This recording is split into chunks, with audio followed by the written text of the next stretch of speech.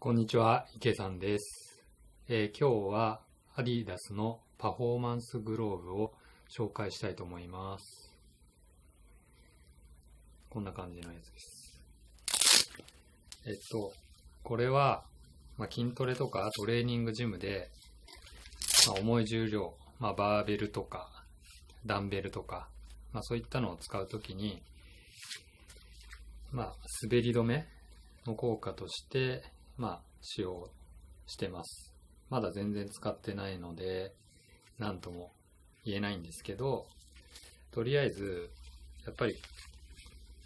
まあ、なんとなくモチベーション上げるっていう意味で、これを使ってます。で、こちらのサイズなんですけども、えー L サイズになります。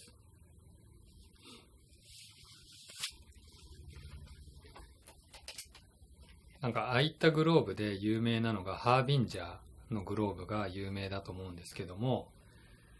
えーそれのサイズだと、まあ、外国製なので、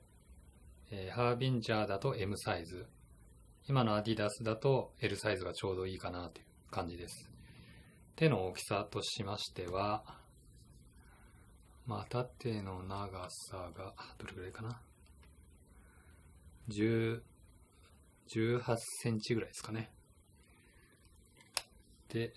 横が、まあ、10センチぐらい。で、手の周り？の長さが、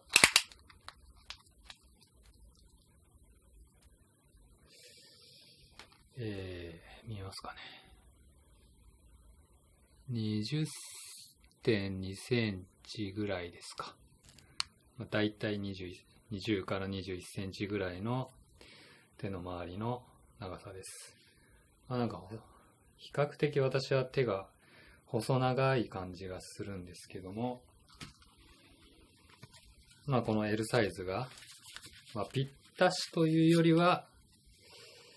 まあ、若干、まあ緩くはないんですけど、少し本当に気持ち程度余裕があるかなと。ただ M サイズだとそもそも手に入らなかったので、まあこの L サイズを買いました。で、これの私がいいなと思ったのは、まあ素材がほぼメッシュなっていて、その重いものを持つ時の手の手のひらの部分は、えーこれスウェード製になってて、まあ革ではないですけども、まあ革でないから逆に、まあ臭くなったら洗えばいいかなとか、まあそういったところがいいところかなと思ってます。で、あと、これのいいなと思っているところは、えーまあ取り外しの時に、ここに、こう引っ張って、えー取れる、補助的に、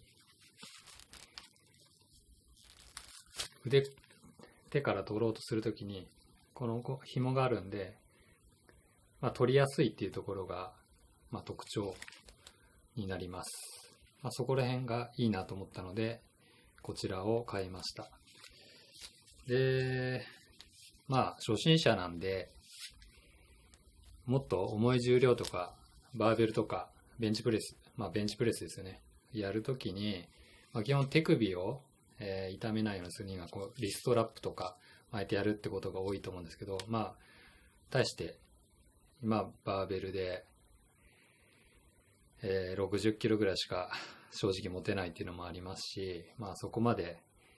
手首に負担かかるってこともまだないかなっていうので、とりあえずこれを使ってます。一応これトレーニングマシンとかやるときもこれを使ってやることで、まあ滑りにくいとか力が入りやすい。まあ、とにかく手首、あ、腕、腕ですかね、握力が疲れない。まあ、疲れにくいかなっていうところで、これを使った方が、やっぱりその筋トレをしたときに、まあ、特に筋肉痛とかになりやすいかなと、まあこれを使ってみて感じましたので、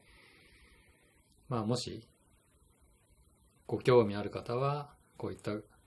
トレーニング用のグローブを使って、えー、トレーニングするっていうのも一つのやり方だと思います。あ、すいません。一個忘れてました。値段なんですけども、こちらの値段は、えー、私定価でオッシュマンズで買ったんですが、えー、その時に3456円、3500円ぐらいだったかなと。一応 Amazon とか Yahoo でも販売しているので、